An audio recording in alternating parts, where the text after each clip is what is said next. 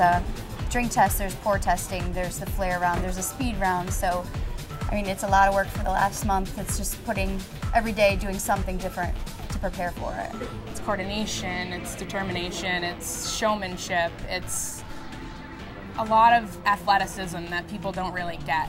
I'd have to compare bartending to skateboarding. They start with a little flip and then they start adding style, their own style to it, and then they create new moves from that. It's working a routine together over a period of time to make it work and, you know, really put on a show.